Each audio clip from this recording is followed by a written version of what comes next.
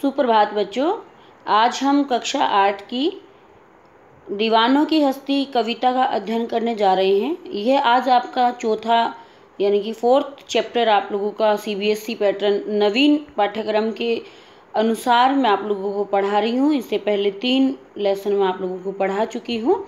तो आज हम अध्ययन करेंगे दीवानों की हस्ती। दीवानों की हस्ती कविता के लेखक हैं, इनके जो कवि हैं उनका नाम है। सभी आप लोग जानते होंगे, अगर नहीं जानते तो आप लोगों को पता होना चाहिए, भगवती चरण वर्मा। और ये जो कविता है, बहुत ही प्रसिद्ध कविता है। बहुत सारे कवि सम्मेलनों में, बहुत सारे आपके के वी के विद्यार्थियों के द्वारा इस कविता को बार बार कई मंचों पर अलग अलग तरीके से इसका वाचन किया गया है। तो कविता को शुरू करने से पहले हम जो है, इसके कुछ कठिन शब्दार्थ का अध्ययन कर लेते हैं। इसमें पहला शब्द है हस्ती। हस्ती का यहाँ पे अर्थ होता है अस्तित्व यानी कि पहचान। आलम एक शब्द आया है। आलम का अर्थ होता है दुनिया एक माहौल यानी कि वातावरण। स्वच्छंद एक शब्द आया है कविता के अंदर तो अपनी इच्छा के अनुसार चलने वाला मतलब जो स्वतंत्र है सभी से। ठीक है? तो ये इसके कुछ मैं जो कविता का आ, कविता का वाचन करूँगी और साथ साथ में जो है आप लोगों को हर एक पंक्तियों का भावार्थ आप लोगों को मैं बताती जाऊँगी। थोड़ा सा संक्षेप में मैं पहले बता देती हूँ। ये जो कविता है, ये स्वाधीनता पूर्व लिखी गई है। इसमें कवि ने राष्ट्र पर बलिदान होने वाले बलि वीरों की मनोदशा का वर्णन किया है कि जो वीर होते हैं तो उन्होंने उनकी जो मनोदशा, यानी कि जो उनका मन के अंदर जो भाव है, वो क्या क्या होते थे। ठीक है? तो आप समझ ही गए होंगे, ये जो कविता है, अंग्रेज़ों के समय की लिखी हुई कविता है। और इसमें कवि ने उन वीरों का वर्णन किया है, उनके मन के भावों को यहाँ पर उजागर किया है, जो कभी देश की आज़ादी का सपना देखते थे। चलिए शुरू करते हैं। हम दीवानों की क्या हस्ती है, आज यहाँ कल वहाँ चले। मस्ती का आलम साथ चला, हम धूल उड़ाते जहाँ चले। आए बनकर उल्लास अभी, आँसू बनकर बह चले अभी, सब कहते ही रह गए, अरे, तुम कैसे आए? कहाँ चले? तो मैं अभी पंक्तियों का आपको भावार्थ बता देती हूँ। हम दीवानों की क्या हस्ती? यहाँ पर कवि ने दीवाने जो एक शब्द यूज़ किया है, वो किसके लिए किया है? ये वीरों के लिए किया है, जो देश को आज़ाद करवाने के लिए उस समय अंग्रेज़ों से लोहा ले रहे थे। ठीक है तो हम दीवानों की क्या हस्ती? मतलब यहाँ पर वो दीवाने, वो वीर कह रहे हैं, हमारी क्या पहचान, हमारा क्या अस्तित्व? हम आज यहाँ, कल वहाँ, इस पंक्ति का अर्थ आप लोगों को ध्यान से समझना है, इससे प्रश्न भी बनेगा। है, आज यहाँ, कल वहाँ चले, मस्ती का आलम साथ चला, हम धूल उड़ाते जहाँ चले। यहाँ पर वीर क्या, ये बात क्या कह रहे हैं कि हम आज हैं यहाँ, कल वहाँ चले। वो तो देश को आज़ाद करवाने के लिए हमेशा तत्पर रहने वाले वीर हैं। तो वो बता रहे हैं, हम दीवानों की कोई पहचान नहीं है यहाँ ये ज़रूरी नहीं है कि आज हम यहाँ हैं और यहाँ पर ही रहेंगे। ऐसा नहीं है, वो देश के लिए कहीं भी हो सकते हैं। इसका अर्थ क्या है कि अंग्रेज़ उनको कभी भी पकड़ सकते हैं और पकड़ कर उनको जेल में डाल सकते हैं। तो इसलिए ये, जो वीरों ने जो बात कही है, आज यहाँ, कल वहाँ चले। मतलब आज हम आप लोगों के साथ बैठे हैं, लेकिन हमारा कल का कोई भरोसा नहीं है कि कल आप लोगों के साथ होंगे कि नहीं होंगे। क्योंकि उन्होंने अपने पूरी तरीके से, अपना जो सर्वस्व है, वो पूरी तरीके से देश पर उन्होंने न्यौछावर कर दिया है। मस्ती का आलम साथ चला, हम धूल उड़ाते जहाँ चले। आगे क्या कह रहे हैं यहाँ पे? ये दीवाने, यानी कि ये जो आज़ादी के दीवाने हैं, जो मस्ताने हैं, जो वीर हैं, ये क्या कहते हैं कि हम जहाँ पर भी जाते हैं, वहाँ पर हम मस्ती का आलम मतलब पूरे संसार में हम खुशियाँ लेकर जाते हैं, हम धूल उड़ाते जहाँ चले, और हम जहाँ पर भी जाते हैं, सभी लोगों में हम एक जोश की भावना भर देते हैं। आप लोग याद कीजिए अपने कुछ वीरों को, जैसे भगत सिंह बहुत ही कम उम्र में उन्होंने जो है देश को आज़ाद करने की ठानी और देश के लिए हँसते हँसते वो सूली पर चढ़ गए। और भी आप इस तरीके के वीरों को याद कर सकते हैं। यहाँ पर उन्हीं वीरों की बात हो रही है कि वो जहाँ पर भी जाते थे, अपने देश के लिए वो जो है सभी लोगों में एक अलग सी मस्ती यानी एक अलग सी खुशी का माहौल पैदा कर देते थे। आए बनकर उल्लास अभी आँसू बनकर बह चले अभी। सब कहते ही रह गए, अरे तुम कैसे आए? कहाँ चले? अब यहाँ पे वो वीर क्या कहते हैं? अभी हम आप लोगों के पास हैं तो आप लोगों को बहुत खुशी हो रही है। लेकिन हो सकता है अगले ही पल हमें सरकार की तरफ़ से या अंग्रेज़ी सरकार की यहाँ पर बात हो रही है कि हमें अभी पकड़ कर ले जाएँ तो आप लोगों की आँखों में आँसू भी आए। वैसे भी आप लोगों ने देखा होगा, जब भी हमारे घर पर कोई आता है तो हम लोग बहुत खुश हो जाते हैं। लेकिन जब वो जाते हैं तो हमारा मन भी थोड़ा भावुक हो जाता है और हम लोग दुखी हो जाते हैं। और वैसे ही, अभी अगर हम सैनिकों की बात करें, वर्तमान में सैनिक जब छुट्टी आते हैं, अपने घरों पे जब भी आते हैं तो घर में पूरा माहौल, पूरा वातावरण एक प्यार भरा वातावरण हो जाता है। लेकिन जब वो जाने लगते हैं तो बच्चे भी और माँ के मन में भी और सभी के मन में एक जो है, थोड़ा सा टीस पैदा हो जाती है। तो यहाँ पर उन वीरों की बात की जा रही है कि ये वीर जो है अभी हँसी खुशी अपने परिवार में है, लेकिन जब वो वहाँ से जाते हैं या उनको अंग्रेज़ी सरकार के द्वारा पकड़ लिया जाता है तो कैसा माहौल हो जाता है? तो सभी की आँखों में थोड़े आँसू, यानी सभी की आँखें थोड़ी नम हो जाती हैं। और सब उस समय कहते हैं, कहते ही रह गए कि उस समय सब क्या कहते रह गए? अरे, तुम कैसे आए कि तुम अचानक से तो आ गए?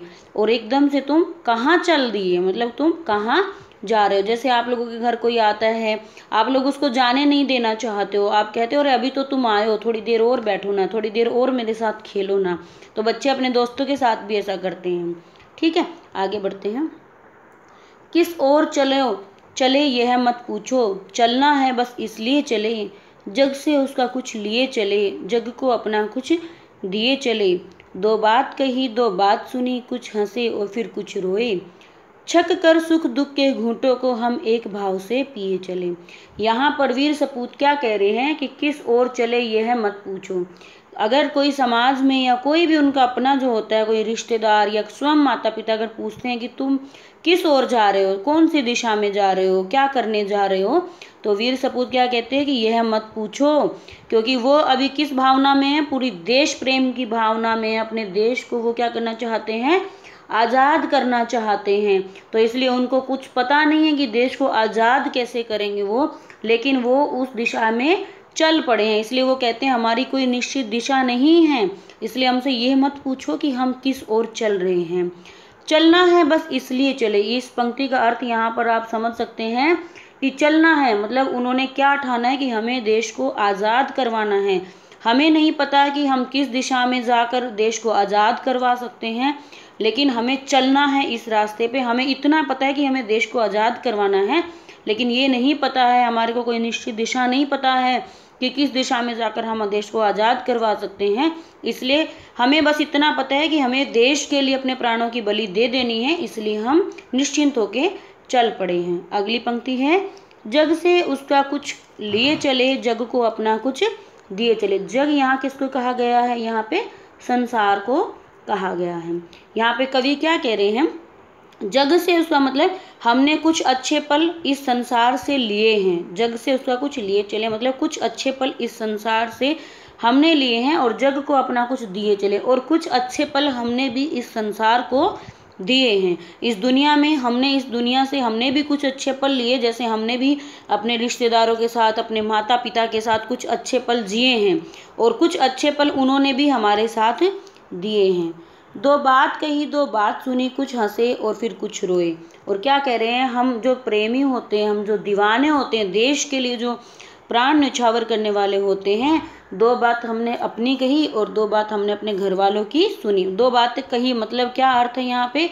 कुछ बातें हमने इस संसार की सुनी और कुछ बातें हमने अपनी कही। कुछ हंसे और कुछ फिर कुछ रोए कुछ हंसे मतलब कुछ उसमें बातें ऐसी थी जो कि हमारे को सुख देने वाली थी, जिस पर कि हम हंसे। और कुछ बातें ऐसी भी थी जिससे हमें बहुत दुख हुआ तो उस पर हम रोए छक कर सुख दुख के घूटों को हम एक भाव से पिए चले।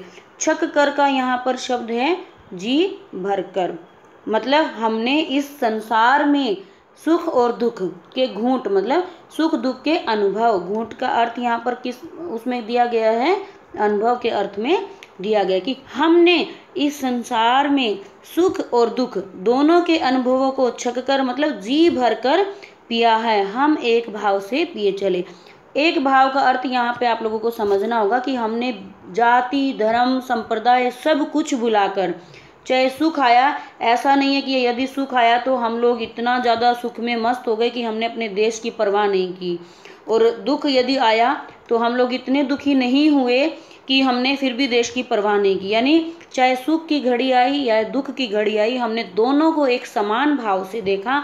उसमें सुख का मतलब यहाँ पे ये भी होगा कि व्यक्ति, हमारे संसार में यानी हमारे भारत देश में यदि कोई प्राणी सुखी है, उसको भी हमने एक समान भाव से देखा। और यदि कोई दुखी है, उसको भी हमने एक समान भाव से देखा। उससे जाति, धर्म, संप्रदाय के आधार पर हमने कोई भेदभाव नहीं किया। तो हमने सुख और दुख के घूटों को, सुख और दुख के अनुभव को एक समान भाव से हमने झेला या सहन किया। उसकी हमें कोई शिकायत नहीं है। आगे कवि क्या कहते हैं? हम बिकमंगों की दुनिया में स्वच्छंद लुटाकर प्यार चले, हम एक निशानी सी उर पर ले असफलता का भार चले। अब अपना और पराया क्या? आबाद रहे रुकने वाले। हम स्वयं बंधे थे और स्वयं हम अपने बंधन तोड़ चले। ये अपनी पंक्ति का अंतिम अंतरा है, जिसमें कवि क्या कहते हैं? भिखमंगे यहाँ पर किसको कहा गया है? भिखमंगे का अर्थ यहाँ पे जो है, इस संसार को कहा गया है। ठीक है? हम भिखमंगों की दुनिया में, भिखमंगों की दुनिया यहाँ पे संसार को कहा गया है, जिसमें कवि क्या कह रहे हैं? ये जो दुनिया की एक प्रवृत्ति होती है, केवल और केवल लेने की प्रवृत्ति होती है। आप लोगों ने भी बहुत बार देखा होगा कि आप लोग किसी से भी जब आप मिलते हैं तो एक लेने का भाव रखते हैं। अपने देने का भाव किसी किसी के अंदर होता है कि हम जैसे हम, हमारे दे, भारत देश में ये होना चाहिए, अमेरिका में तो ये है, हम लोग बहुत तुलना करते होंगे। हमारे भारत देश यहाँ इतना पीछे है। हम क्या, हम अपने देश से बहुत कुछ चाहते हैं। आप लोग, ये वर्तमान में भी ये है। इसलिए कवि ने इस संसार को कैसा कहा? भिखमंगा कहा है कि ये सिर्फ़ दुनिया से भीख की तरह माँगता रहता है। हम लोगों की भी ये प्रवृत्ति होती है कि हम केवल इस दुनिया से मांगने की उम्मीद करते हैं उससे कुछ चाहते हैं। लेकिन ऐसा तो कोई कोई होगा ना जो भारत देश के लिए ये सोचेगा कि मुझे अपने देश के लिए ये करना है। जैसे वर्तमान में मैं बात करूँ, कोरोना की बार बार प्रधानमंत्री जी द्वारा कहा जा रहा है कि आप लोग घर पे रहिए, घर पे रहिए। उसके बाद भी लोग शिकायतों पे शिकायत कर रहे हैं, घर से बाहर निकल रहे हैं। ठीक है, ये हमारा देश के प्रति योगदान नहीं है। ये हमारा स्वार्थपन है कि हम देश का योगदान, हम देश के लिए योगदान देना ही नहीं चाहते हैं। तो बात यहाँ पर भिखमंगों की दुनिया यहाँ पे कवि कह रहे हैं, ये दुनिया की प्रवृत्ति क्या है? केवल और केवल लेने की है, लेकिन स्वच्छंद लुटाकर प्यार चले। हम लोग इससे बिना कुछ लिए स्वतंत्र रूप से इस पर अपना सब कुछ न्यौछावर करके चल पड़े हैं। यहाँ पर क्या कह रहे हैं? यहाँ पे उन वीर सपूतों की कहानी, उन वीर सपूतों की जुबानी बात कही जा रही है कवि के द्वारा कि हमने बिना कुछ उम्मीद किए इस अपनी भारत महादेश पर हम अपना सब कुछ लुटाकर चल पड़े हैं। हम एक निशानी सी उर पर, उर यहाँ पर किसको कहा गया? हृदय को कहा गया है। ठीक है, निशानी मतलब चिन्ह। अब क्या है कि कवि यहाँ पर क्या कह रहे हैं? हम एक निशानी सी उर पर ले असफलता का भार चले। इन वीर सपूतों ने बहुत प्रयास किया कि हमारा देश आज़ाद हो जाए, लेकिन हुआ क्या कि इनके होते होते देश आज़ाद नहीं हो पाया। तो क्या कहते हैं, ये वीर सपूत उनके दिल पर एक भार है। यहाँ पे उर जो है, हृदय के लिए यूज़ किया गया शब्द है कि हमारे दिलों पर एक निशानी सी मतलब ऐसे चिन्ह हैं। किसके चिन्ह हैं वो? असफलता के। यानी हम अंग्रेज़ों से अपने देश को आज़ाद नहीं करवा पाए तो वो जो भार है, वो हमारे हृदय पर अभी भी वो भार है और उसके निशान हमारे हृदय पर अभी भी लगे हुए हैं। हमने अपना सब कुछ नचावर करने के बाद भी हम अपने भारत देश को यहाँ पर आज़ाद नहीं कर पाए। अंतिम पैराग्राफ में, अंतिम अंतरे में क्या कहते हैं कवि? अब अपना और पराया क्या? आबाद रहे रुकने वाले। हम स्वयं बंधे थे और स्वयं अपने बंधन तोड़ चले। यानी जो ये वीर सपूत हैं, ये देश के लिए जब फांसी चढ़ जाते हैं, उस समय ये, उस समय की ये घटना है, उस समय की बातें अपने, इनके मन में जो चल रहा है, ये क्या कह रहे हैं? अब अपना और पराया। उस समय ये ये नहीं सोच रहे हैं कि हमारे माता पिता कितने दुखी होंगे। उस समय इनके अंदर से अपना और पराया मतलब हम सारी दुनिया को ही ये क्या मान रहे हैं? अपना मान रहे हैं। पराया किसी को नहीं मान रहे कि ये हमें नहीं जानता तो। बल्कि जो हमारे भारत देश में रहता है, उनको सभी को ही अपना मान रहे हैं। किसी को भी अपना पराया नहीं मान रहे हैं। अब क्या कहते हैं? आबाद रहे रुकने वाले। आबाद मतलब सुखी। क्या कहते हैं? जो भी इस देश में हैं, जो इस देश में रुके हुए हैं, वो सब कैसे रहे? वो सुखी रहे। हम स्वयं बंधे थे और स्वयं अप, हम अपने बंधन तोड़ चले। स्वयं बंधे थे मतलब हम जो है अब इन लोगों से हमने स्वयं ही प्यार किया था। ऐसा नहीं था कि किसी ने हमें कहा था कि आप इनसे प्रेम कीजिए देश पर न्यौछावर हो जाइए। ये जो भावना होती है कोई आप लोगों के अंदर भरता नहीं है।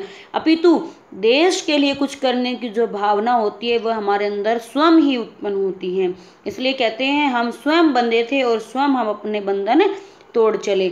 यानी हमने स्वयं ही सभी लोगों से प्यार करना सीखा था और हम और देश पर आज न्यौछावर होकर अपना इन लोगों से स्वयं ही बंधन तोड़ रहे हैं। यानी हम देश की आज़ादी के लिए, देश की स्वाधीनता के लिए हम अपने प्राणों की बलि दे रहे हैं और अपने सभी बंधनों को हम तोड़ रहे हैं। विद्यार्थियों, मुझे लगता है कि मैंने, मैं हर एक पंक्ति का अर्थ आप लोगों को बताने में। यहाँ पे कामयाब रही होंगी। अगर आप लोगों को फिर भी कुछ समझ में नहीं आया तो आप मुझे जो है इसके बारे में बता सकते हैं। धन्यवाद। मिलते हैं अगली वीडियो में।